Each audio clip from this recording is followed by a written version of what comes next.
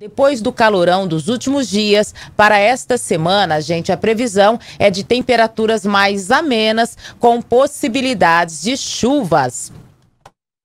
Três Lagoas vem sofrendo fortes ondas de calor desde a última semana. Os termômetros registraram temperaturas acima dos 40 graus, com sensação térmica que passaram dos 50 graus. O calor tá de matar, hein? Não vejo a hora de chegar uma chuva. Tá com saudade da chuva? Muita.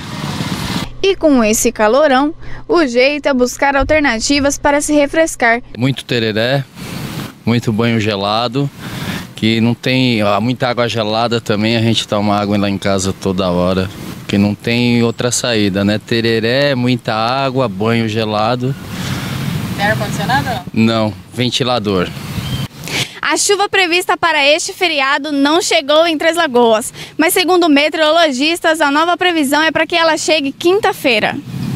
Na semana passada, até que a chuva ameaçou chegar em Três Lagoas, mas não passou de garoa. Há meses, os três lagoenses aguardam por aquela chuva.